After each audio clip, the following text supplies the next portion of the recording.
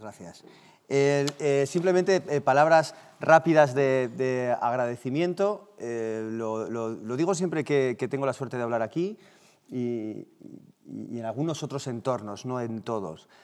cuando la propuesta es buena y cuando el lugar es magnífico, pues no solo es una honra, sino es un placer, es un privilegio que no, a los que estamos de este lado del escenario, no nos suele ocurrir con tanta frecuencia. Quiero decir que la, y esto es importante señalarlo. Eh, no siempre existe el marco en el que uno pueda hablar con la facilidad, con la honestidad, con la profundidad de asuntos que le gustaría hablar, porque no siempre se da. Eh, y en ese sentido, encontrar un marco como el espacio Ronda pues es un privilegio que yo creo que compartimos tanto los que hablamos como las personas eh, que venís a aprender, a escuchar o a compartir con nosotros. entonces, gracias a ti y gracias a, a todo lo que generas, generáis, ¿no? Eh, y, por hacernos sentir muy bien aquí y facilitar sobre todo las cosas. Bueno, va, empecemos. Vamos a ver, eh, cuando, cuando surge la posibilidad de, de, hacer una, una, ponencia eh, en este espacio, en el marco de, esta, este taller, escuela de, espiritualidad, para hablar de este asunto, yo creía como profesor, porque básicamente eh, en mi currículum se resume a una sola palabra, soy profesor, da igual de qué, da igual dónde, eh, a veces ambulante y a veces no, pero profesor, que en sí mismo es un oficio eh, que además medio se hereda y quien lo tiene pues está, tiene el privilegio o la condena de dedicarse a eso, pues ya sabéis que todo oficio implica un magnífico beneficio y a veces una terrible condena, o las dos cosas a la vez. Eh, con lo cual, como profesor, eh, eh, lo tenía muy claro, lo que me interesaba era esto de la transmisión de lo sagrado. Utilicé la palabra transmisión en recuerdo de un ensayo bellísimo de George Steiner, el, filólogo y el, antropólogo, que se llama Elogio a la transmisión. El elogio de la transmisión, que es un pequeño ensayo que, que dedica a todos los maestros, profesores, es decir, a las personas que se dedican o nos dedicamos a eh, compartir algún tipo de, conocimiento adquirido o, mucho más importante, a generar algún tipo de pensamiento. Bueno, la, idea de, que el asunto tuviera que ver con la transmisión me parecía fundamental. Y sobre todo la transmisión no ya de información, no un curso con un contenido, sino eh, la gran duda que se tiene a día de hoy de cómo se transmite eso que llamamos sagrado. Cómo se, transmite, cómo se nos ha transmitido y cómo debemos transmitirlo. Eh, eh, parte de la ponencia, no toda, pero está dedicada a esta responsabilidad que tenemos los adultos con respecto a otros adultos o, otros que no son adultos, pero especialmente adolescentes y niños, de cómo le cuento yo a un niño a día de hoy qué es algo sagrado y sobre todo cómo le invito a que eso se convierta en algo importante en su vida y forme parte de su, de su costumbre, de sus consideraciones, de sus hábitos, de eso que llamamos de su educación. Y la cosa eh, adquiere especial relevancia cuando los que trabajamos en entornos eh, eh, de educación, en cualquier nivel, educación infantil, primaria, secundaria o educación superior, los que hemos estado en cualquiera de esos niveles, nos damos cuenta de que efectivamente hay un clamor, es decir, hay un problema, vamos, por decirlo más claramente. Hay un problema, una ausencia de efectividad en la transmisión de lo sagrado o un desconocimiento absoluto de, eh, eh, por parte de los alumnos de la recepción de eso que otros consideramos sagrados. ¿Cómo hago yo que un niño que estoy educando aprenda que es algo sagrado? Para lo cual yo lo tengo que tener muy claro eh, y por lo tanto obliga a una reflexión. Todos, en mayor o menor medida, los que en algún momento consideramos o sabemos o tenemos mayor o menor certeza de haber experimentado o de saber experimentar eso que llamamos sagrado, y por ahí tendremos que empezar, tenemos inmediatamente, y sí lo creo así, una responsabilidad. Y esa responsabilidad se llama la transmisión de lo sagrado. Eh, para centrarnos voy a, empezar eh, sobre seguro con esta eh, bellísima propuesta de Pepe Hierro, que leeré solo la mitad y luego la otra mitad. Eh, solo cuando concluya. Em, sobre todo porque plantea exactamente, yo cuando leo esta poesía, me pongo exactamente en esa situación de conflicto ante la impotencia a la hora de transmitir ciertas cosas a personas más o menos cercanas, pero a veces a gente profundamente cercana e incluso familiar o íntimos amigos. Y sin embargo no se sabe transmitir lo sagrado y muchas veces no se sabe compartir. Dice Pepe Hierro, la, la poesía se llama Respuesta, y dice, quisiera que tú me entendieras a mí sin palabras, sin palabras hablarte, lo mismo que se habla a mi gente, que tú me entendieras a mí sin palabras, como entiendo yo al mar o a la brisa enredada en un álamo verde. Me preguntas, amigo, y no sé qué respuesta he de darte. Hace ya mucho tiempo aprendí hondas razones que tú no comprendes. Revelarlas quisiera, poniendo en mis ojos el sol invisible, la pasión con que dora la tierra sus frutos calientes. Me preguntas, amigo, y no sé qué respuesta he de darte. Siento arder una loca alegría en la luz que me envuelve. Yo quisiera que tú también la sintieras, también inundándote el alma. Yo quisiera que a ti, en lo más hondo, también te quemase y te hiriese. Criatura también de alegría quisiera que fueras. Criatura que llega por fin a vencer la tristeza y la muerte. Terminamos después. Es exactamente esta la emoción. Eh, eh, plantea muy bien el tema.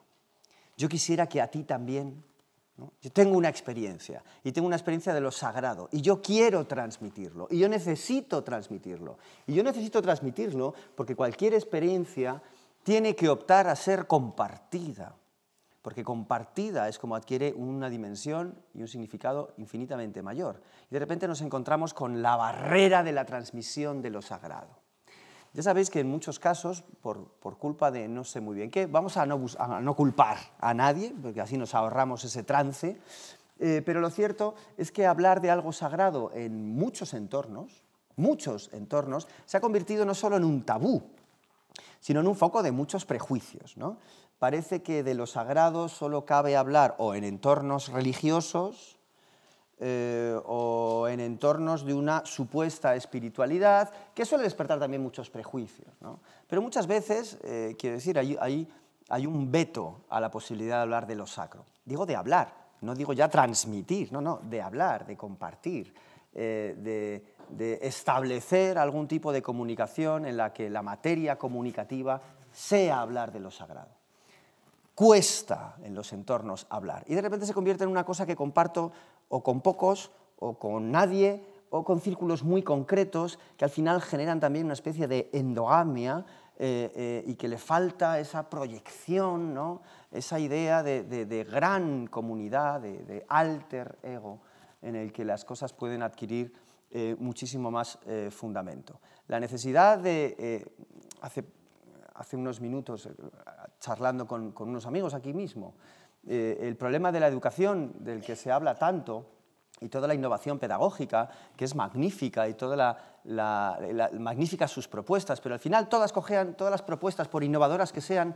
eh, y por críticas que sean con cosas que no funcionan, cojean de lo mismo. Y es decir, que para educar, lo primero eh, que los educadores tendrán que tener en cuenta es una idea común de lo que es un ser humano y en función de la consideración que ese colectivo de docentes tenga acerca de lo que es un ser humano, tomaré las decisiones pedagógicas para transmitir a ese ser humano lo que necesita.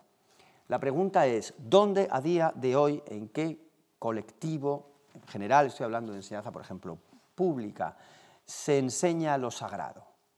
¿Cuál es la asignatura lo sagrado? ¿Debe ser una asignatura? Eso se solventa con las clases de religión en los colegios que dan religión. Eh, debo decir, por mi experiencia, y, trabajo y estoy en contacto con varios colegios en los que se da religión, que, que no, que el resultado es altamente inefectivo y que la experiencia de lo sacro no se consigue a través de esa asignatura. Entonces, ¿cómo? Y digo, bueno, pues, pues no lo sé. Hombre, pero será importante, porque si en mi concepción del ser humano está una concepción trascendente que implica la consideración de lo sacro o de lo sagrado, tendré que poder enseñárselo. o tendré que dotar al alumno de esa capacidad que va a ser fundamental para su desarrollo como persona. Claro, puede ser que la concepción del ser humano no haya nada vinculado con lo trascendente y con lo sagrado, y ahí estamos. Y por lo tanto, hablar de lo sagrado en un formato educativo como el que tenemos es muchas veces genera extrañeza, rechazo, frivolidad o simplemente desinterés. En algunos casos, pues bueno, pues.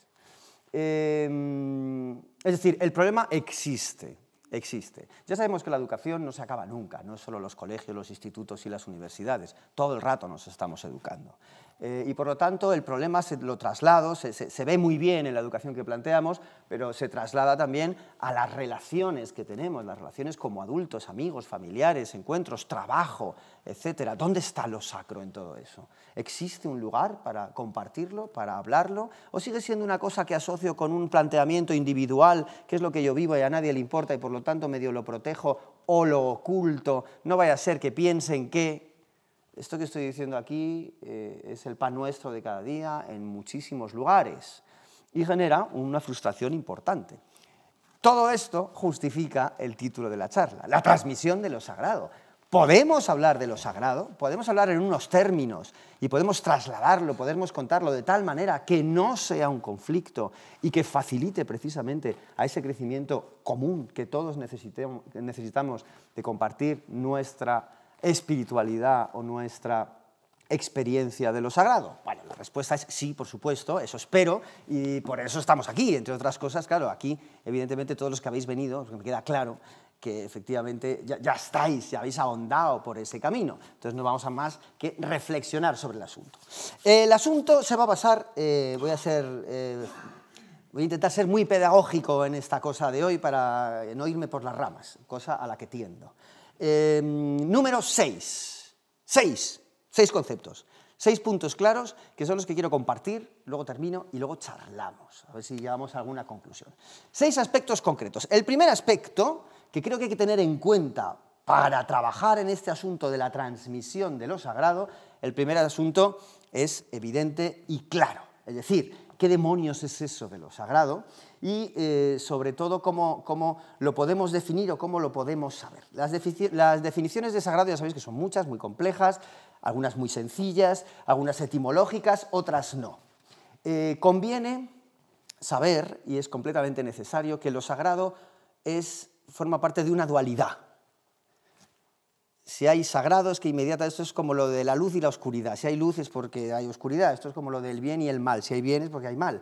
Eh, es decir, forma parte de una dualidad. Existe lo sagrado porque inmediatamente existe lo profano. Y, son las dos caras de una misma moneda. Para que exista lo sagrado tiene que existir lo profano. Y ahora me explico, y me explico de la manera más fácil. Vamos a ver, fijaos, la clave, la palabra para hablar de lo sagrado es precisamente el significado. ¿Cuándo algo adquiere una connotación sacra, sagrada. Hay, eh, ya sabéis que hay etimólogos que insisten en esta idea de que lo sagrado etimológicamente, otros piensan que no, ¿eh? Eh, coincide con la palabra segregar, segregado, es decir, lo separado. esta idea de separar si, no es, si etimológicamente no, no, es coincidente, en su significado sí. La clave para entender cuándo, el sagrado, cuándo algo es sagrado o algo es profano está en esta palabra, está en su significado. Con lo cual, para hablar de sagrado, tengo que entender muy bien qué significa significado. Es decir, cuándo algo está significado. Y aquí la etimología sí que nos va a ayudar bastante. Fijaos, Empezamos, eh, somos correctos. Empezamos por la RAE, dice, dicho de una cosa, ser por naturaleza, imitación o convenio, representación, indicio o signo de otra cosa distinta. Paro aquí. Otra. El significado es algo que eh, eh, el significado de algo es aquello que va más allá del objeto o fenómeno presentado un momento determinado o de su definición y puede conferirle elementos adicionales de acuerdo a factores sociales y culturales. Y sigo, significado es un participio del verbo significar que procede del latín significare compuesto de las raíces signa, que significa señal, o signo, y ficare, facere, que significa construir, edificar, hacer, es decir, hacer un signo, hacer una señal. El término significado, el sufijo ado, dota de acción, conferir algo, es decir, hacer un signo se convierte en conferir un signo o una señal. Y como sabemos, un signo es un elemento de un lenguaje a través del cual yo llego a una realidad significada. ¿Qué es un espacio sagrado? ¿Qué es un tiempo sagrado? ¿Qué es un objeto sagrado? ¿Qué es lo sagrado? Es aquello que está dotado de un significado. Y aquí no entramos en problemas ni de espiritualidades ni de nada, que tiene un significado. Ojo, un significado distinto a lo que se llama lo profano. Es decir, que lo que separa lo profano de lo sacro es una significación distinta. El tiempo de lo sagrado es un tiempo en el que las cosas cobran otro significado. El, espacio de lo sagrado es un espacio en el que la, realidad cobra otro significado. Las cosas tienen, aparece un lenguaje distinto y por lo tanto una lectura distinta de la realidad. Y estoy utilizando todo el rato la palabra distinto. Por lo tanto, lo sagrado obliga a una separación, separación algo se corta. A partir de aquí, el lenguaje de objetos, de formas, de sensaciones, adquiere otros significados. Son signos diferentes que me llevan a otras realidades. Con lo cual, un espacio, un tiempo, un objeto, es decir, lo sagrado tiene que ver con aquello capaz de generar significados diferentes. ¿A qué? A los significados habituales. Lo sacro tiene que tener siempre ese carácter excepcional. Lo profano es lo común, lo sagrado es lo excepcional. Todo tiene una lectura, salvo cuando entro en esos parámetros en el que el lenguaje, que es fundamental la idea del lenguaje, no se puede hablar, no se puede revisar nada en, en materia de pedagogía espiritual sin revisar el lenguaje, es la clave. El lenguaje no es solo de las palabras, ¿eh? de los objetos, es decir, el tipo de lenguaje y el tipo de pensamiento. Y esto nos lleva a la clave del asunto y que me va a servir de conclusión final, porque yo quiero terminar hoy proponiendo un ¿y qué hay que hacer? Porque si no, ¿qué hago yo aquí? Pues algo habrá que hacer. Evidentemente, lo que fomenta lo sagrado es un entorno significativo. Significativo en el que las cosas se convierten en signos, en señales de algo, de realidades significadas. Es decir, que esto ya no es esto, esto es algo más, tiene otro significado, no es una botella de agua que sirve para beber, esto tiene otra lectura. Esa lectura yo me tengo que poner de acuerdo con otros en qué, en qué significa. Por lo tanto, esto se establece, y diré la palabra, que me pone nervioso de decirla, esto se convierte en, bendito sea Dios, en una metáfora. ¿Qué es un espacio sagrado? ¿Qué es un tiempo sagrado? ¿Qué es un objeto sagrado? Es un lugar en el que el lenguaje formal, visual, textual, se convierte en metafórico, lo diré, poético. Paréntesis. Primer flotador para salvar la transmisión de lo sagrado, fomentar la transmisión de lo poético.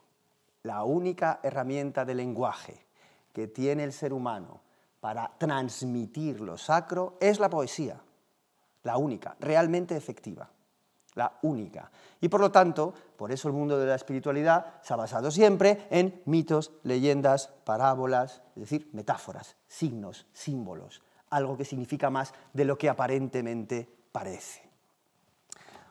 Punto number one, sagrado tal. Y lo dejamos ahí, no decimos, no, porque es un lugar en el que habita la divinidad. No, no, no, no, no, no nos metamos en eso porque nos echan de la conversación. Entonces, simplemente la realidad significa más, es un problema de significados. Y ojo, para que algo signifique me tengo que poner de acuerdo con unos cuantos para que para todos signifique lo mismo. No es lo que significa solo para mí, que existe una idea de lo sacro individual, pero la que nos interesa es el sacro, lo sacro como colectivo. Con lo cual, lo primero ser capaces, y esto tengo que decir, tenemos buenas noticias, que es una, una de las altas, de las más altas capacidades del ser humano, la capacidad de generar realidades significantes, significantes, en que las cosas me llevan a otros conceptos, en muchos casos, superiores, o no voy a poner si superiores o inferiores, diferentes, ¿no? con lecturas distintas. Es decir, lo que se plantea primero es una necesidad de un tipo de lenguaje. Lo tengo, lo tenía cantado. Claro, vamos a ver, el ejemplo, más ejemplo eh, eh, y, y, más manido y no por ello válido, pues es clarísimo. Yo creo que, si me apuráis, todo el principito de Exupéry, todo el principito, quiere contar el punto uno, que las cosas signifiquen. ¿Y cómo hago para que lo que me rodea signifique algo? La ausencia de significado genera un abismo en las, en las personas. Cuando la realidad no cobra un significado, aparece el vacío, la ansiedad, el miedo, la depresión, porque necesitamos que todo lo que nos rodea tenga algún significado y que haya lugares en los que el significado sea especialmente grande. Bueno, os lo leo porque toca. Dice, ve y mira nuevamente las rosas. Comprenderás que la tuya es única en el mundo. Volverás para decirme adiós y te regalaré un secreto. El principito se fue a ver nuevamente las rosas. Todas las rosas. No sois en absoluto parecidas a mi rosa. No sois nada aún, les dijo. Nadie os ha domesticado y no habéis domesticado a nadie. Sois como era mi zorro. No era más que un zorro semejante a cien mil otros. Pero yo le hice mi amigo y ahora es único en el mundo. ¿Qué se ha hecho? Dotar de significado a una rosa y a un zorro. Significan más. Y las rosas se sintieron muy molestas. Sois bellas, pero estáis vacías, les dijo todavía. No se puede morir por vosotras. Sin duda que un transeúnte común creerá que mi rosa se os parece, pero ella sola es más importante que todas vosotras, puesto que es ella la rosa que he regado lo están poniendo en bandeja. Puesto que es ella la rosa quien puse bajo un globo, puesto que es ella la rosa quien abrigué con el biombo puesto, que es ella la rosa cuyas orugas maté, salvo las dos o tres que se hicieron mariposas, puesto que es ella la rosa a quien escuché quejarse o alabarse o algunas veces callarse, puesto que es ella mi rosa. Es una lección de cómo hacer significativo, en este caso, una rosa, algo. Básicamente ya sabéis que es tiempo y cuidado. Poco más. Amor, tiempo y cuidado. Y volvió hacia el zorro. Adiós, dijo, adiós, dijo el zorro. He aquí mi secreto. Es muy simple. No se ve bien sino con el corazón. Lo esencial es invisible a los ojos. Lo esencial es invisible a los ojos, repitió el principito, a fin de acordarse. El tiempo que perdiste tú por la rosa hace que tu rosa sea tan importante. El tiempo que perdí por mi rosa, dijo el principito, a fin de acordarse. Los hombres se han olvidado de esta verdad, dijo el zorro, pero tú no debes olvidarla, eres responsable para siempre de lo que has domesticado. Me encanta la palabra responsabilidad. La sacralizar algo, es decir, dotar de significado profundo a algo, implica, sobre todo y ante todo, una responsabilidad. Responsabilidad. Yo estoy vinculado a eso que he dotado de significado y lo debo mantener.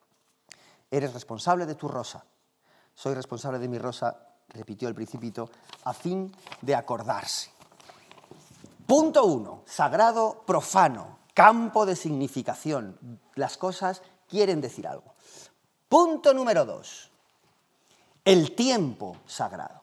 Cuando se habla de lo sacro, lo asociamos en general por nuestra concepción en la que estamos mucho más pendientes del espacio que del tiempo, que lo desconsideramos y la desconsideración del tiempo nos está llevando a, bastante eh, sufrimiento, eh, el tiempo sagrado, seguramente la idea de, de, crear, es decir, ¿yo qué tengo que hacer? Yo tengo todas las rosas y tengo que coger una, una, y hacer todo un proceso de sacralización para que se vuelva significativa. Es una labor humana. Claro, eso, fijaos, lo primero que lleva es tiempo. Es tiempo. Es decir, que hay un tiempo para lo sagrado, para sacralizar y para disfrutar de lo sagrado, que seguramente es lo mismo. Lo sagrado constantemente tiene que ser actualizado. Hay una responsabilidad. El tiempo de lo sagrado. Eh, eh, eh, parece ¿no? la historia de las. Como, como, la, como el espacio está ahí, y parece que siempre va a estar. Se habla mucho más de espacios sagrados que de tiempos sagrados, pero los que nos dedicamos a la geometría sabemos que tan importante es una cosa como otra, sobre todo que no se puede dividir. No existe espacio sagrado sin tiempo sagrado. ¿Cuándo es el tiempo de lo sagrado? eh, a la luz del punto número uno es fácil. ¿Qué es lo que tengo que hacer con el tiempo? El tiempo, que parece que es una cosa así, eterna y partida en cachitos, eso es el cronos, pues tengo que coger un cachito, igual que había muchas rosas y cogía una rosa, un cachito y significarlo. Ese es el tiempo sagrado, el que se diferencia de los otros. Ojo, para significarlo tengo que hacer lo mismo que con la rosa. Regarlo, cuidarlo, es decir, tengo que prepararlo. Hay que preparar el tiempo sagrado. Un tiempo no se hace sagrado porque yo decido ya. No, no.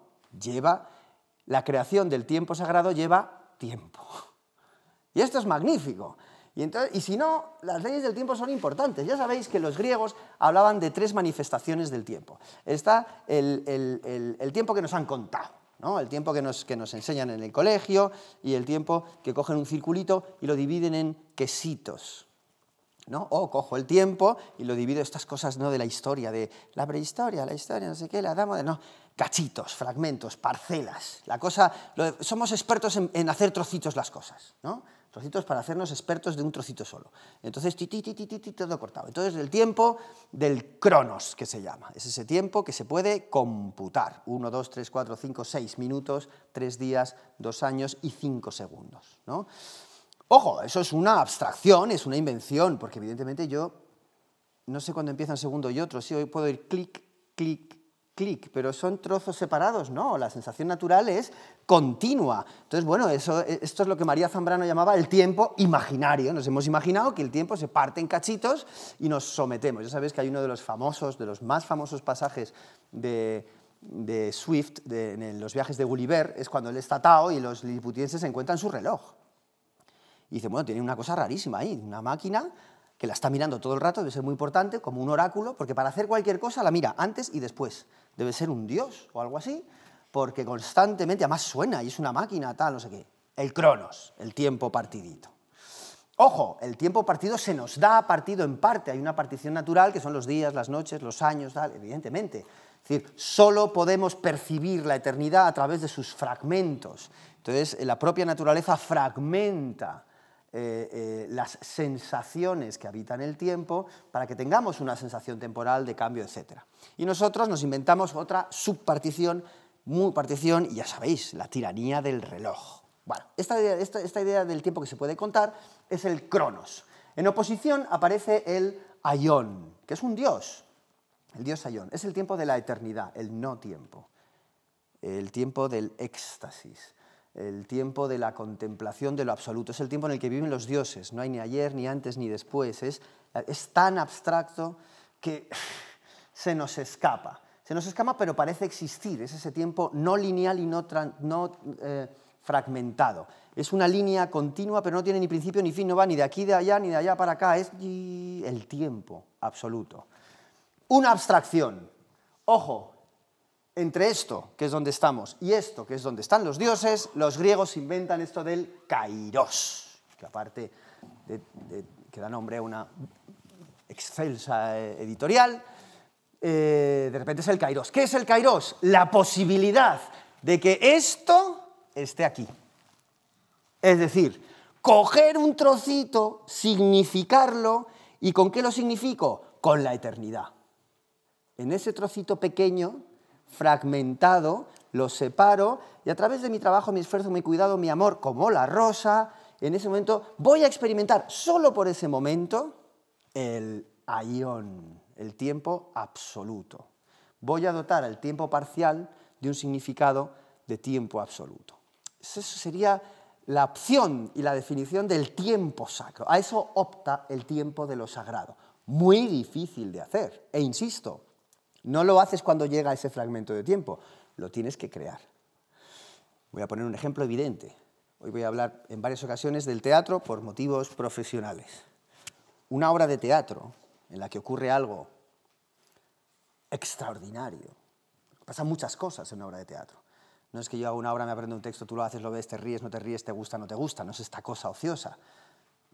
No, quien crea la obra de teatro no son los actores, son los actores y el público. Hay una, una mezcla de intenciones, de voluntades, de seres humanos presentes, de imaginación, de aceptar como algo que es verdad, de simbología, de metáforas, muy complejo. Es una religión, fue una religión en Grecia el teatro.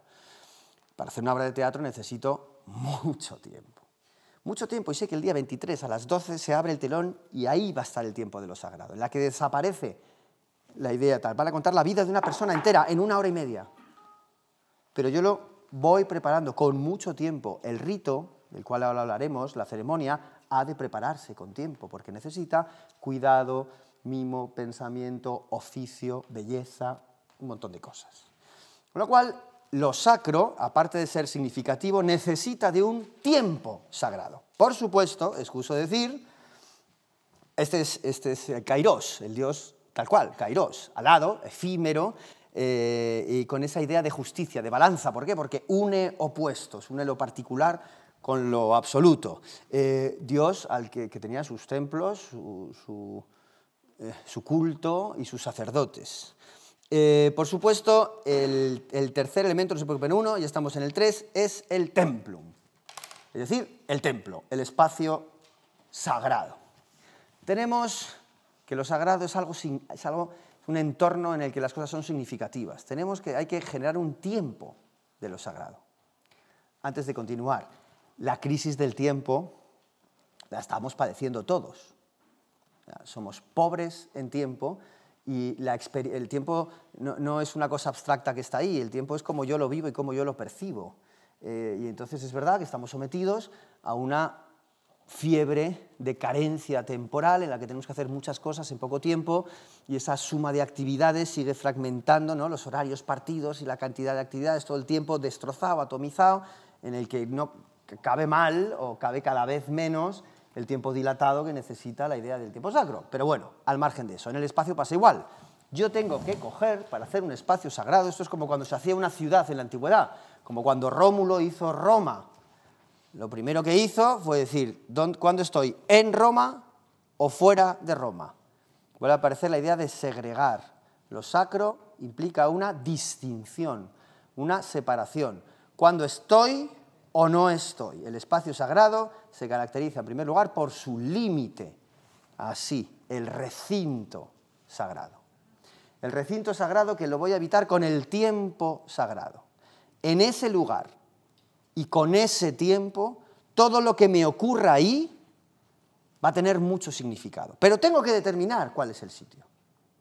A veces es espontáneo, sí, pero si lo quiero articular y hacerlo colectivo, aparece esa idea del templo. Ya sabéis que la palabra templum eh, viene precisamente, eh, como la palabra contemplar, viene precisamente de una mirada. El templum era en un claro del bosque el recorte que hacían en ese claro los árboles y el trozo de cielo que yo podía ver delimitado por las copas de los árboles. Y en ese trozo de cielo el vuelo de las aves.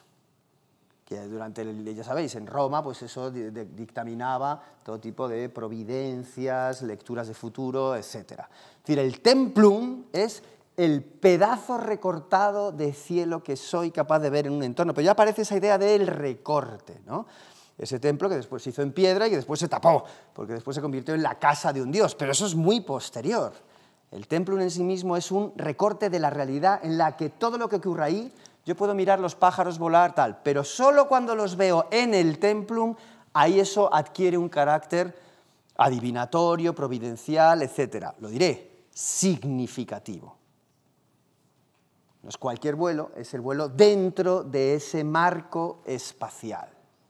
Con lo cual, a la par que el tiempo sagrado, tengo que hacer un espacio sagrado. El, siguiente paso, eh, todo pone uno, bueno, debe ser que todos son importantes, no, me ha hecho caso. Es el objeto sagrado. Bueno, el objeto sagrado, el, tema más claro es, lo, que lo que hace el principito con la rosa. Ejemplo uno va a hacer, pongo siempre ejemplos que barro para casa, uno se hace peregrino y va al camino de Santiago y no tiene mochila. Y como tampoco quiere ser un peregrino ortodoxo y comprarse la mochila último modelo del Decathlon, pues entonces le dejan una mochila. Ah, yo te dejo una que tengo, ah, fenomenal, pues ya está, ya no tengo que comprar mochila. Y me pongo la mochila, llevo las cosas y voy con mi mochila. Estoy un día con la mochila, ya me duele porque la mochila no se adapta a tal, moratones, me está fastidiando la mochila. Empiezo una relación con la mochila. Entonces le pongo una, una toalla que tengo aquí y tal, y voy así y tal, no sé cuánto. Luego empiezo a cargar cosas y no puedo con la mochila, no cosas, el problema no es la mochila, sino la cantidad de cosas que he puesto, pero ahí le voy con la... Luego descubro que la mochila tiene otras cosas, que tiras de una cuerda y pasan cosas, luego te pones así, vas mejor y no sé qué. Claro, todo esto a lo largo de los días. Cuando han pasado 15 días, la profunda relación con la mochila es asombrosa asombrosa porque es parte de ti. Es más, vas sin mochila y te parece como raro decir, yo necesito la mochila. Se ha incorporado. Ojo, no es un camino de rosas de, oh, mi mochila. No, no, me ha hecho sufrir, la he conocido, me ha conocido a mí, nos hemos encontrado. Hemos tenido una serie de experiencias que hace que mi mochila sea muy significativa. No solo muy significativa, sino profundamente metafórica. Porque todos en la vida llevamos una mochila que nos pesa más o nos pesa menos. Y no es tanto lo que llevamos dentro, sino cómo nos adaptamos a la propia mochila. ¿Qué he hecho? He hecho de un objeto algo significativo. ¿Es sagrado? Por ahí van los, por ahí va, por ahí va. Es más sagrado, es, adquiere importancia, adquiere autoridad. Yo ante la mochila y la mochila ante mí. Es un objeto significativo. ¿Qué ocurre? Que solo yo si ese objeto, si esa misma mochila le pasara a otros, sería compartida. Una vez más, lo difícil es compartir lo sagrado. ¿Qué me ha hecho falta? Experiencia, experiencia, experiencias, vivir, vivir, convivir, enfrentarme, padecer, sufrir, gritar, tal, y, generar un acercamiento. He domesticado, como diría Exuperi, la mochila. Y la mochila es altamente significativa para mí. ¿Cuántas cosas, ¿Con cuántas cosas puedo hacer eso en mi vida? con casi todas. ¿Tengo que hacerlo con casi todas? No, tendré que elegir con cuáles. Y luego, mucho más importante, ya no solo es que tenga una relación especial, porque eso puede generar lo que se llama un apego. Es que es mi mochila. No, no, es la mochila. Lo importante de la mochila no es la mochila ni lo que te ha pasado. Lo que te ha pasado y la mochila es importante para la lectura que tú hagas de esa mochila. Porque recordamos que una realidad significante no es ver esto y considerarlo especial, es que esto, signo, me lleve a otra cosa. Así nos ahorramos la idolatría. No es esto, es a dónde te lleva la mochila. ¿Cuál es tu mochila, esa que no se ve, que no se toca? Es decir, sacralización del objeto. Si soy capaz de generar significados en un tiempo y en un espacio y con unos objetos, ahí sí que tengo un, templo completo. Ahí...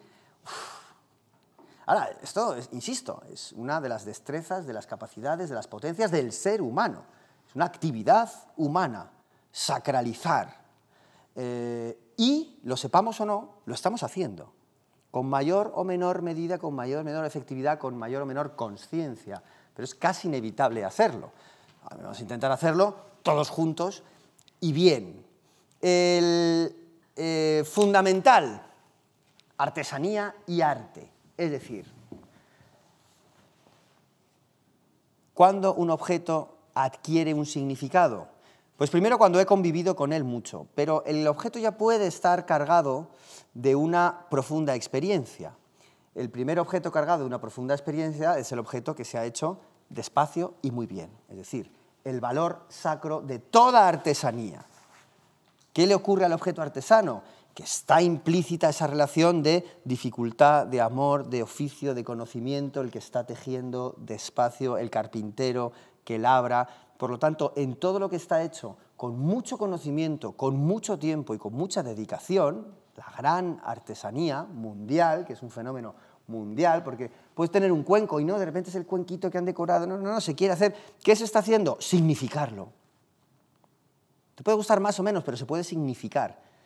Aparte de eso, luego existe un grado superior, que es que ese objeto además transmita una serie de conceptos, ideas, metáforas o simplemente belleza, es decir, ese límite ambiguo entre artesanía y arte.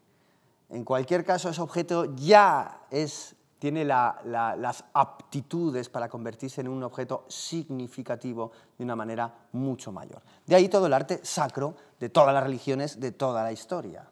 No es porque sí.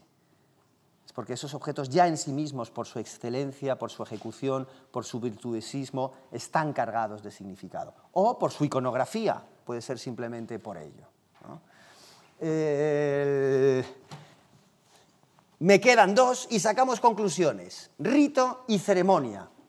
Soy capaz de conectar con algo que signifique que me lleve a las grandes ideas, a los grandes conceptos. No estoy hablando todavía ni de Dios, ni de nada, no, no. Lo que yo llame lo grande, da igual. Vale, dos. Tengo el tiempo para crearlo y para disfrutarlo. Tengo el espacio. Es más, tengo unos objetos bellísimos que me sirven como metáfora de esos conceptos. ¿He terminado? No. Pues la cosa es más complicada y hay que cumplir los seis pasos. Siguiente, ¿qué hago con todo eso? Estamos metidos en el espacio y en el tiempo. entonces yo tengo que, algo tengo que hacer. Dices, no, no, porque yo ya me quedo. Me quedo callado, veo el objeto en el espacio y en el tiempo. Bueno, pues estoy haciendo eso. No es que no esté haciendo nada, estoy haciendo eso, quedarme callado. Mirar, pensar, no pensar, meditar, yo qué sé, algo. Pero es una propuesta concreta que se desarrolla en el espacio y en el tiempo. Puede ser esa o puede ser que mis acciones, mis acciones sean significativas. Doy la vuelta, canto una canción, cojo de la mano, hago, enciendo una vela o hago el pino. Lo que yo decida puede ser cualquier acción. ¿Qué estoy haciendo? Estoy haciendo, creando un rito, una ceremonia, en la que se incluye todo lo anterior.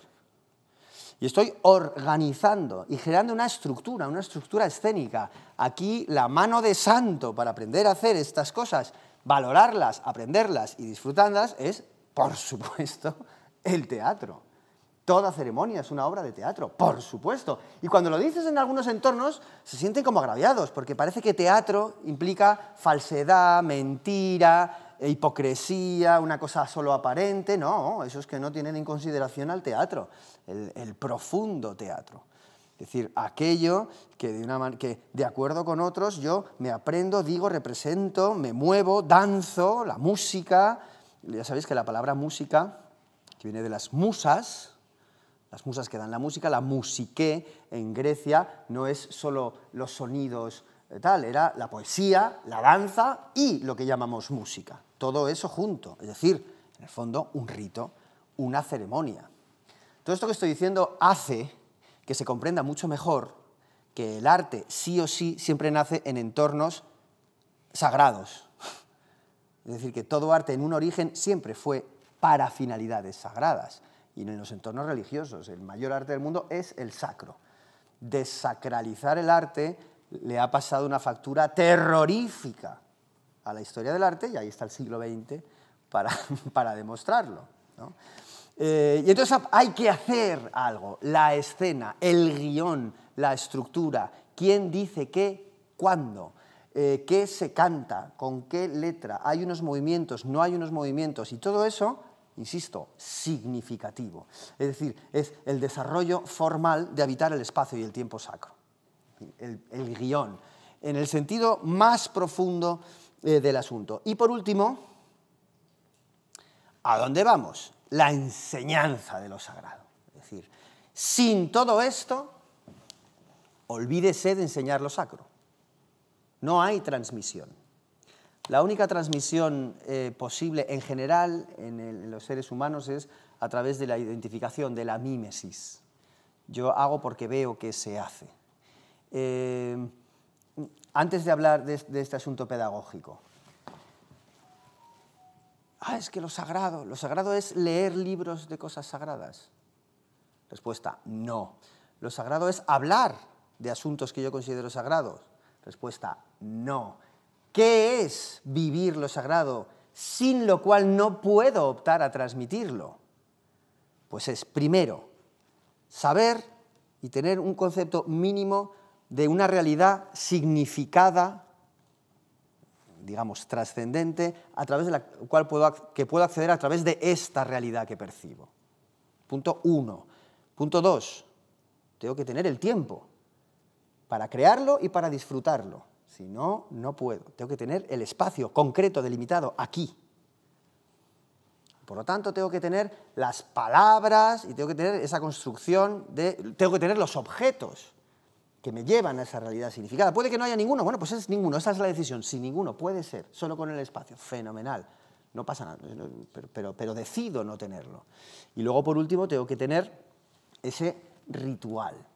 ¿Esto dónde se encuentra? ¿Qué hago? ¿Me lo invento? ¿Lo cojo? ¿Cojo el que ya hay? Claro, la historia de la humanidad nos ha ofrecido magníficos formatos magníficos formatos. ¿Qué ocurre y cuál es el problema? Pues que lo que es inexcusable es el número uno. Es decir, si yo considero que esto es sagrado, por favor, que cuando yo entre en el tiempo y en el espacio con el objeto y agarrito y lo vea, esto me lleve a. Es decir, que sea, me lleve a lo que significa esto y que no se acabe en esto. Si el primer pilar falla, lo demás es un aspecto formal, tengo un tiempo, tengo un lugar, tengo unos objetos, tengo un rito, pero no me lleva a ningún sitio. Se cae toda la torre en absoluto, que es el drama de los ritos muertos. las religiones, como es lógico, tienen una dimensión cultural importantísima. Una religión lo que aporta, sobre todo, es cultura, sobre todo. Cultura, hábitos, normas. Eh, y digo normas en el, sentido total, incluso propuestas éticas, morales, maneras de relacionarlos, es decir, todo eso, que es cultura realmente, es una ha sido una de las fuentes culturales más importantes. La religión, no es que la cultura genere religión, no, la religión es la que ha generado las, las, culturas. Eh, y en algunos casos de una manera evidente. Eh, en esa cultura ha habido unos hábitos, como es lógico, la religión normaliza y por lo tanto dice más o menos lo que hay que hacer con la garantía de que la cosa funcione. No voy a dudar yo de, la buena intención de todos los que se han esforzado en generar religiones para que la cosa funcione. ¿Qué ocurre? Que cuando deja de funcionar, y ya solo veo esto, y sí, le dejo el espacio, sí, le dejo el tiempo, sí, veo esto, sí, hago el rito, pero esto no me lleva a ningún sitio, a eso se llama, ahí hay, se llama fracaso. Quiere decir, esto ha fracasado. ¿Por qué? Porque el primer, el, tema de la realidad significada ya no está. No es que, sí, no, lo entiendo, no, no, que no lo tienes que entender, lo tienes que experimentar. Es conveniente, y aquí esto es una polémica, es conveniente enseñar y transmitir ritos sin su significado por el hecho de perpetuar un hábito. Y aquí se debaten los profesores de la transmisión de lo sagrado. Bueno, mejor eso que nada, ¿no? Bueno, mejor eso que nada, o la otra opción, bueno, que lo haga y ya si eso, a ver si la práctica por el operis operandi, ¿no? Eh, a ver si esto me lleva a algún sitio. Eh, bueno, pues ahí tendremos que decantarnos y decidirnos. Es verdad que un rito carente de significado eh, puedes perpetuar una tradición, la tradición te puede hacer sentir que perteneces a un colectivo y es un acto cultural, pero transmisión de lo sagrado no se está haciendo. Es decir, no es efectivo para el objetivo de la transmisión de lo sagrado. Se transmite tradición, se transmite cultura, pero no experiencia de lo sagrado. Y por lo tanto, si el objetivo es la experiencia de lo sagrado, no está funcionando, de ningún modo. Por lo tanto, perpetuar unos hábitos carentes de sentido es altamente peligroso. Lo digo porque en muchos casos, voy a ser crítico, en, entornos y en religiones, uno de los grandes, eh, la que más conozco, que es la religión católica, eh, con la que convivo y comparto muchísimas cosas, pero eh, llega un momento en el que ves que uno de los puntos débiles es precisamente la transmisión de lo sagrado, en eso que llaman las catequesis, que es uno de, de, los, de, los, de los puntos más negros de la, de la iglesia actual. Es decir, la, catequesis no se está haciendo en muchos casos, no pongo, no generalizo, correctamente. La transmisión de lo sagrado no se está produciendo. Porque falta, sí, se enseña el hábito, se enseña la forma, se enseña el objeto, se enseña el tiempo, se enseña el espacio, pero no se enseña el significado a través de una experiencia. Y por lo tanto todo lo otro queda invalidado. Eh, a nivel pedagógico, cómo se enseña lo sagrado. Pues la palabra clave es la experiencia, es decir, hay que experimentar lo sagrado. Hay un maestro de primer orden, o maestra. Eh, de hecho, Exuperi lo tiene clarísimo, las metáforas que pone son siempre de orden natural. Evidentemente, maestro número uno, la naturaleza. ¿Hay una religión natural? No, no diría. Pero la idea de lo sagrado, de lo segregado, de lo simbólico, ¿aparece en la naturaleza? Pues lo voy a decir claramente. No en la naturaleza en sí misma. Y aquí apelo al maravilloso William Blake. No en la naturaleza, pero sí en la naturaleza que es observada por el ser humano. Decir que la naturaleza en sí misma genera lugares sacros, en mi opinión es un error la naturaleza observada por el ser humano, que es quien completa la naturaleza, no nos olvidemos lo del sexto día, que al final del todo se crea el hombre, que es el final y por lo tanto el culmen en ese sentido, ¿no? el paradigma, lo que cierra el proceso de la creación, el hombre que observa la naturaleza genera espacios, tiempos, objetos y lugares sagrados. Los primeros templos siempre han sido y han estado en la naturaleza. Siempre que ha habido una crisis, el hombre ha vuelto a la naturaleza. El ermitaño, el que se va al monte, el tal, constantemente en todos los procesos espirituales de las grandes transformaciones, de los grandes iniciados, ha jugado un papel determinante la naturaleza, que en sí misma me da el lenguaje de lo significativo. Porque cuando el hombre experimenta la naturaleza, descubre singularidades en la naturaleza. Y ese árbol le pasa algo diferente a todos los otros. Y ahí sale una fuente en la que Y efectivamente las plantas que Y además curan. Cuando las tomo me curan ese sitio. Ese sitio es especial. Y por lo tanto, como es especial, ahí pasan cosas especiales. Con lo cual yo ahí no voy a hacerlo de todos los días. Voy a hacer algo diferente. ¿Diferente por qué? Porque es significativo. Y ya me invento yo al Dios de turno que con el que asocio el sitio, que además el Dios no es lo importante, sino lo que significa ese Dios. La naturaleza desarrolla el pensamiento poético de manera inmediata. No hay nada que hacer, no hay que decir y no hay que aprenderse ni a Rubén Darío ni a Machado. Eso después. Inmediatamente. Las cosas adquieren un valor, el camino que recorre. En eso el, Islam nos da unas lecciones maravillosas, porque las grandes palabras, eh, din, fitra, las grandes palabras eh, em, árabes eh, asociadas a la religión son todo cosas que tienen que ver con, asuntos profundamente naturales.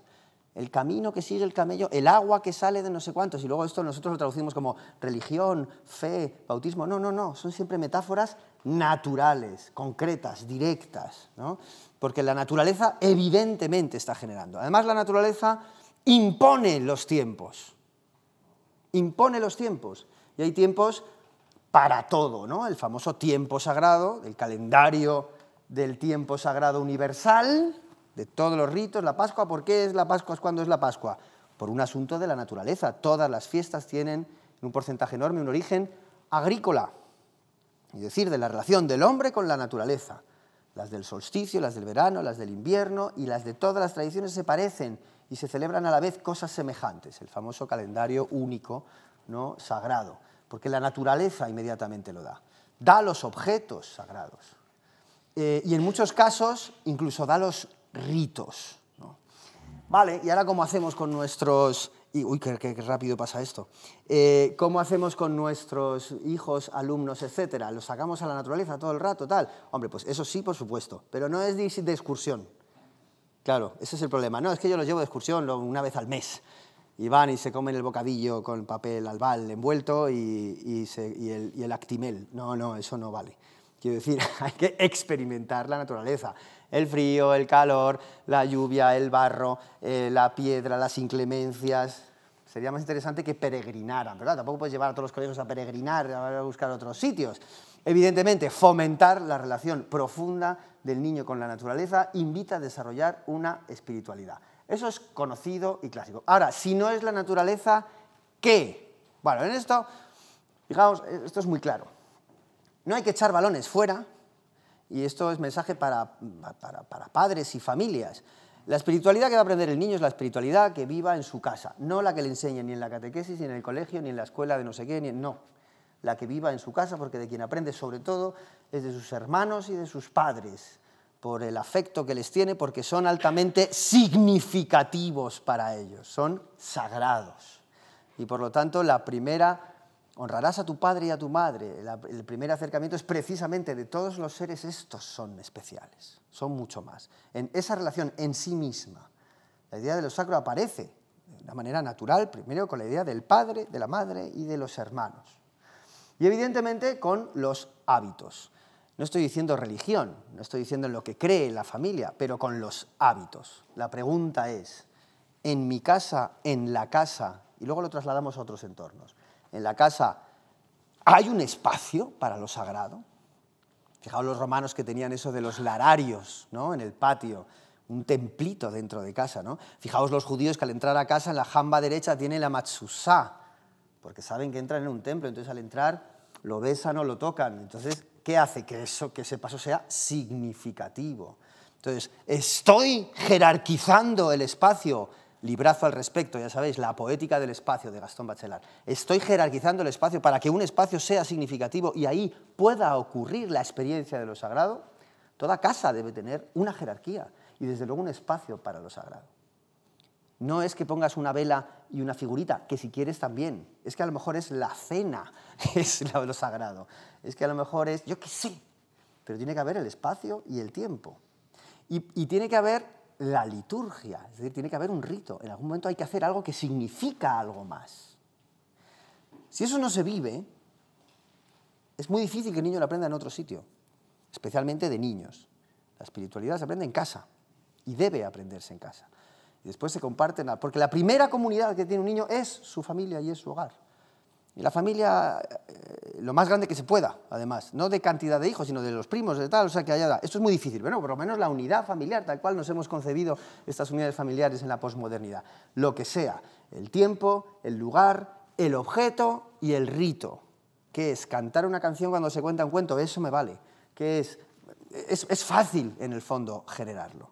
Eso se experimenta y por lo tanto se le da valor, porque al final lo que hace el que experimenta lo sagrado es otorgar significado y valor a la realidad, que es lo que va a necesitar de una manera eh, posterior. Y en los otros entornos, y en los trabajos, y en los tal, ¿se puede generar espacios sagrados? Hombre, pues ojalá. Eh, quiero decir, eh, con la fiebre que tenemos de trabajar mucho con poco tiempo, ya lo del pilar del tiempo se cae. Lo de la realidad significante, cuando no es compartida, pues se convierte en un problema. Eh, bueno, pues parece que nos enfrentamos a un mundo posmoderno, occidental, globalizado, en el que la opción de que cualquiera de estos seis pilares aparezca cada vez es más difícil.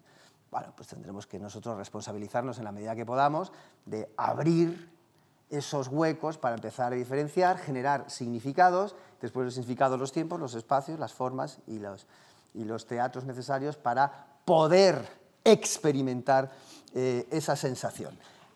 para no alargarme más, porque ya se me ha pasado el tiempo, termino con lo de Pepe Hierro y hablamos. Eh, ¿Dónde está? Respuesta.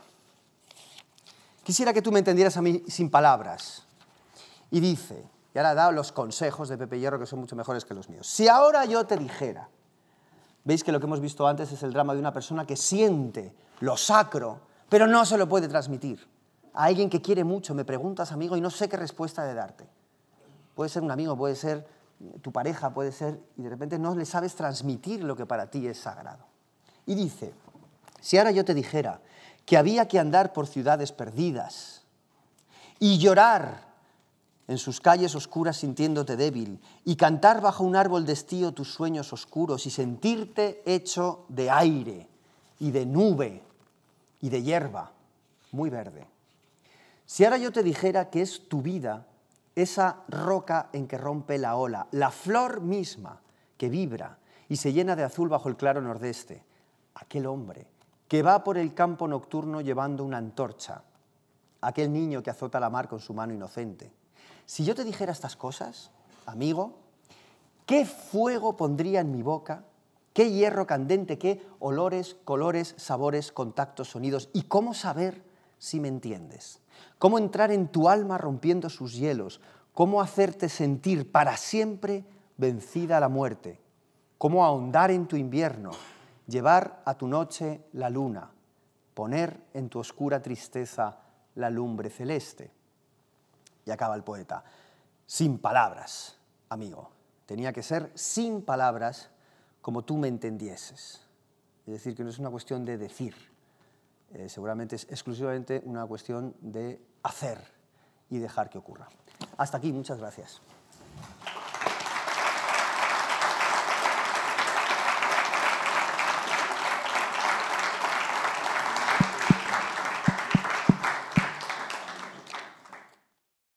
Qué momento eh, se pervierte la idea de templum, o sea, se tapa el techo y por qué?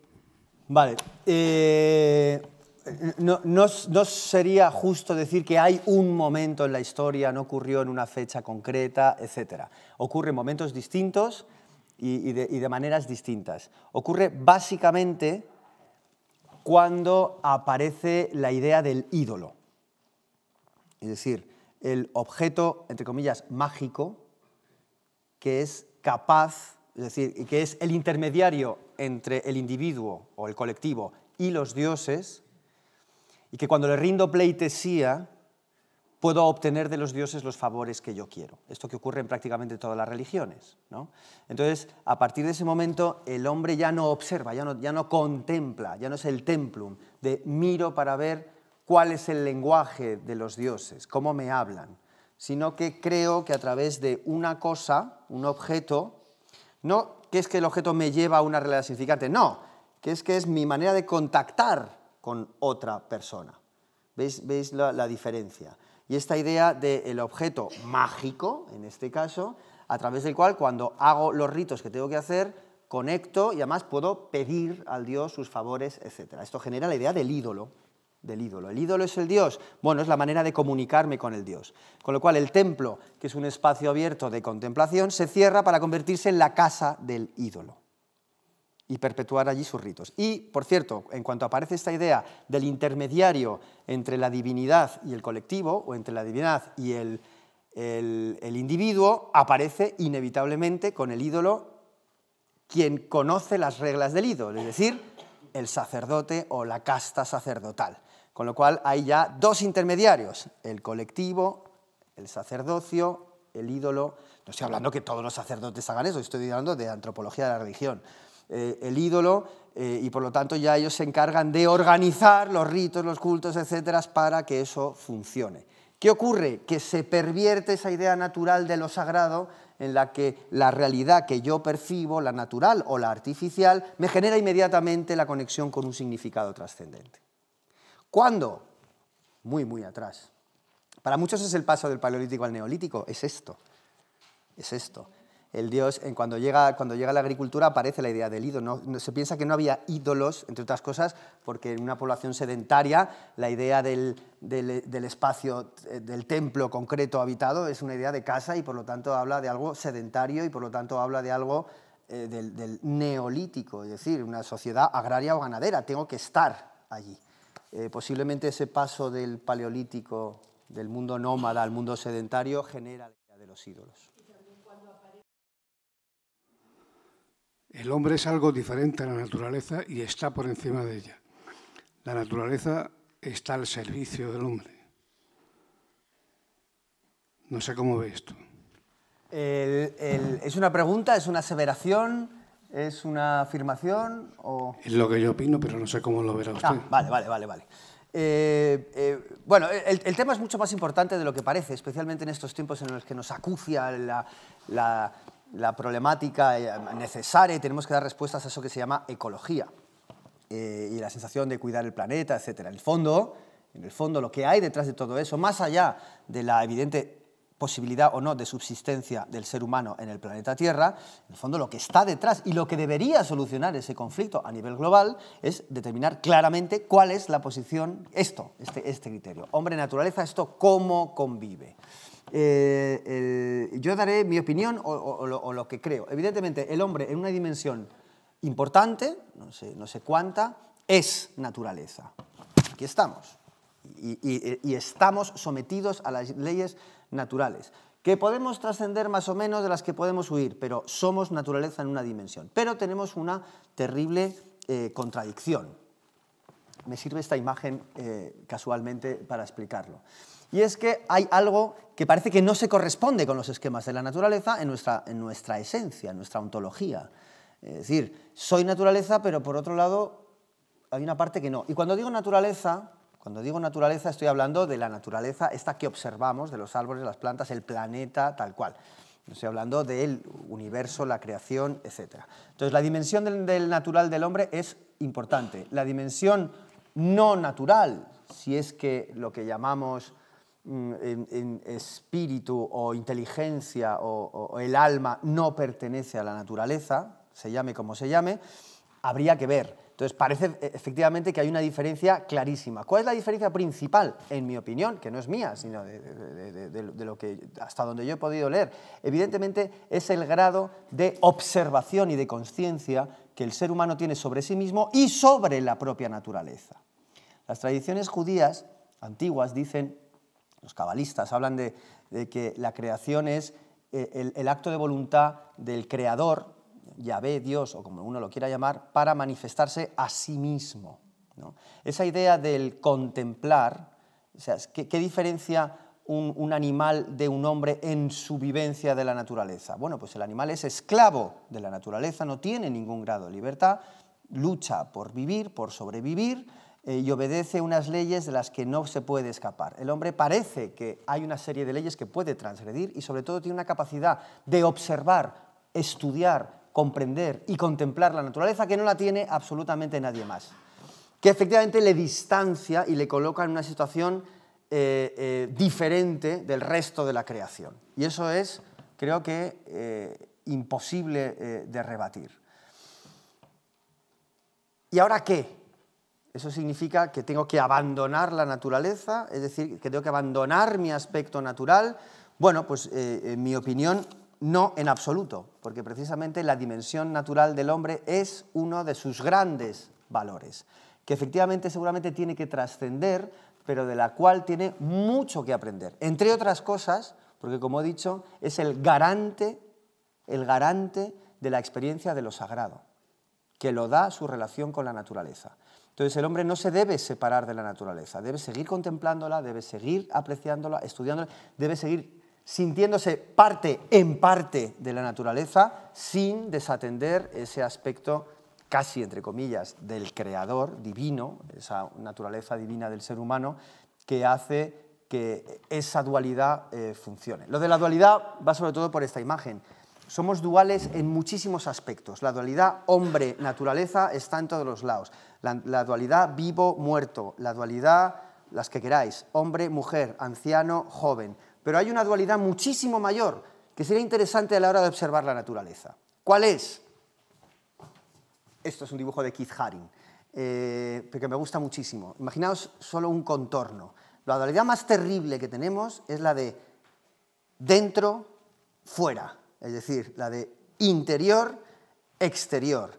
En mi interior, en mi interior parece que solo estoy yo, y en mi exterior estoy con los otros. Porque si me relaciono con los otros, hasta donde sé es a través de la naturaleza, con nuestros cuerpos, con nuestras voces, con nuestros sonidos. Esto significa que la dualidad interior-exterior necesita, es que no lo he contado, pero lo cuento ya rapidísimo, necesita también un acto de trascendencia. El hacer un rito externo, hemos dicho que es válido cuando significa algo más, el rito externo se corresponde con una experiencia interna. Todo lo que hago externo debe corresponderse con una experiencia interna. Esa es la validez de lo sacro. Y ahí es cuando se cierra el ciclo. Entonces, ¿qué ocurre? Y pongo el ejemplo geométrico. Esta dualidad dentro-fuera, hombre-naturaleza, que es la misma, yo y el mundo, el hombre y la naturaleza, al ritualizarse, es decir, al sacralizarse, se convierte en esto. Lo de fuera es como lo de dentro. La naturaleza es un espejo donde podemos mirarnos plenamente. Lo dice muy bien Rubén Darío, eres un universo de universos. El universo natural está dentro de ti. Por lo tanto, eso de generar espacios, tiempos, rituales sagrados, lo que hace es encontrar lo sagrado que yo llevo dentro. Hacer un tiempo y un espacio sagrado externo construye el tiempo y el espacio sagrado interno. Y entonces ahí, naturaleza exterior e individuo, hombre, interior, comulgan. Y el objetivo mayor, ahí es este, mira, mira, mira, mira. No, no, no, ya, el objetivo mayor en el que el hombre y la naturaleza, mira, mira, mira, mira. Y ahí estamos, tenemos que estar constantemente. ¿Para qué sirve sacralizar? Para esto. Fijaos que se segrega, se hace diferente. Qué bien me ha venido tu pregunta, Dios mío de mi vida. ¿Cuál es mi posición? Hmm. ser humano? Entonces, la, idea de la religión es de que el hombre es el paradigma de la posición de la, de la, creación y por lo tanto ha de someter a la naturaleza. La palabra someter no, me, no, me, no creo que no es la adecuada. No es someter, ha de conocer ha de conocer. Yo en eso soy como los, como me encanta la, religiosidad de los ilustrados. Siempre se piensa que la ilustración es un movimiento de la razón exclusivamente. No, no, los grandes ilustrados eran profundamente creyentes, pero pensaban precisamente, la gran ilustración pensaba, que, que son los padres de la ciencia actual, que en el estudio, la observación profunda de la naturaleza estaba la trascendencia. Eran deístas, no teístas. Es decir, Dios no es, alguien con quien me puedo... No, no, Dios ya lo ha hecho todo ha hecho la creación y en su estudio, comprensión, búsqueda, eh, eh, eh, descripción, reflexión, etcétera, está precisamente la trascendencia. Entonces, ¿la naturaleza necesita del hombre? Sin lugar a dudas. ¿El hombre necesita de la naturaleza? Sin lugar a dudas. Esta es mi opinión. Cuando veo el, cielo, la bóveda celeste, no digo, ay, mira, ahí está la Vía Láctea, no sé qué, no sé cuántos, patatín, patatán. No me quedo ensimismado de tal potencia que he llegado a la experiencia cumbre que no existen las palabras inexplicables. Eso en la experiencia de la calle de diario lo podemos obtener porque es un acto sagrado que debemos tener experiencia y no palabras, decir, la experiencia de la experiencia, no dejarnos actuar como robots en lo que ahora estamos. Entonces, ¿qué dirías tú sobre ese aspecto? Bueno, pues sobre los dos aspectos muy fácil y muy rápido. Primero, eh, ¿Qué en el mundo que nos rodea es susceptible de ser sacralizado? Absolutamente todo. Esta botella, limpiar los platos, levantarme, lo que yo decida con otros hacer. Efectivamente, lo sacro y la, trascendencia puede hallarse en todo lo que yo, consciente, deliberadamente y, y a posible de una manera compartida, sea capaz de hacer. Y tengo que desarrollar esa capacidad. La capacidad de generar sacralidad insisto, pertenece al ser humano, pero como todas las capacidades del ser humano, no sirve para nada si no se desarrolla. Entonces, efectivamente, esa trascendencia está en absolutamente todo. Tengo que ser capaz de ver. Blake, al que he citado antes, decía, así como un hombre es capaz de ver, ese hombre es. Soy lo que soy capaz de ver. Si realmente solo veo un árbol y solo le sé poner un nombre y solo sé clasificar, no estoy viendo que ese árbol es un universo completo y que en mi identificación con ello puedo alcanzar una experiencia de lo sacro absolutamente maravillosa, sin lugar a dudas. Y con respecto al culto al cuerpo, no al culto al cuerpo, sino la idea del cuerpo como, templo, ojalá recuperáramos esa idea del, cuerpo como templo, que por cierto es profundamente cristiana. ¿no? Eh, caerá el templo y lo reconstruiré en tres días la idea del, cuerpo resucitado. Sí, efectivamente, cuidado, la idea de que evidentemente lo primero si lo primero sagrado es establecer un límite entre la realidad y todo lo demás, este es el primer límite. Es que yo estoy aquí dentro. La idea del interior enfrentado al exterior ya me da el punto uno de lo sagrado. Ahora le tendré que dar su tiempo, le tendré que dar su espacio, sus ritos, sus hábitos, su comida, etc., para considerarlo como un templo, es decir, como un vehículo de significación, cuidado, y nunca como un objeto de adoración, que es la mala comprensión en nuestros días del famoso culto al cuerpo, que por cierto no es culto al cuerpo, es culto a un cuerpo determinado que, al que, nadie tiene en general, que es eh, alto, joven, musculado y eternamente joven, que nada tiene que ver con esta idea, no, es que el culto al cuerpo no es ningún culto. El templo, el cuerpo como santuario, por supuesto que tiene que ser considerado, fomentado eh, eh, y enseñado. también fundamental en los programas pedagógicos en los colegios. Totalmente de acuerdo.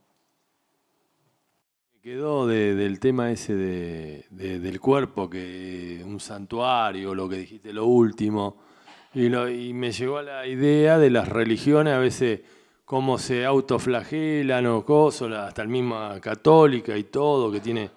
Entonces, cómo que es un templo y, después, eh, digamos, en esa, no sé, en todos esos ritos o cosas, eh, ¿cómo puede ser entonces? Bueno, eh, eso que ha pasado con el, error que ha ocurrido en la consideración del cuerpo ha ocurrido en otras muchas consideraciones, en otros aspectos del ser humano. Pero, en mi opinión, efectivamente, de una manera intencionada y con motivos no siempre muy dignos, se ha intentado en la historia de bastantes religiones, en el caso de las tres monoteístas importantes es evidente, no todos, pero es evidente los episodios, se ha intentado demonizar el cuerpo. En una mala comprensión de la filosofía aristotélica eh, eh, de, cuerpo y alma, dual, y que lo que importa es el alma y por lo tanto el cuerpo es despreciable porque es algo que tengo que trascender, porque se va a quedar aquí y lo que importa es lo otro. Bueno, pues es una filosofía mal entendida, porque Platón tampoco decía eso exactamente, que ha alimentado una serie de teologías en las que el cuerpo era un enemigo. Un enemigo en el que habita precisamente unas, unas pasiones contrarias al ansia de inmortalidad que tiene la parte más elevada del ser humano. Esto en otras tradiciones religiosas, gracias a Dios, se ha superado. Entonces, evidentemente, no se trata de que el cuerpo sea un enemigo que hay que vencer, que tienes razón, ha alimentado muchas religiones mucho tiempo y lo sigue haciendo, ese concepto. Eh, en mi opinión es erróneo, pero es mi opinión, quien lo vive será por algo. Y el cuerpo no solo es el templo, sino que juega un papel fundamental, precisamente porque si parte de nuestra labor aquí como humanos es saber sacralizar la realidad, la realidad completamente sacralizada en el, Evangelio tiene nombre, es la Jerusalén celeste. O sea, haremos de este mundo un mundo completamente sacro. Bueno, este paradigma incluye, por supuesto, a nuestro cuerpo. Es muy difícil que sepamos generar tiempos, espacios sacros si no lo hacemos con nuestro propio espacio sacro, que es nuestro cuerpo. Entonces el cuerpo tiene que estar en una alta consideración, sin lugar a dudas. Y en mi opinión, cualquier formato contrario es nocivo.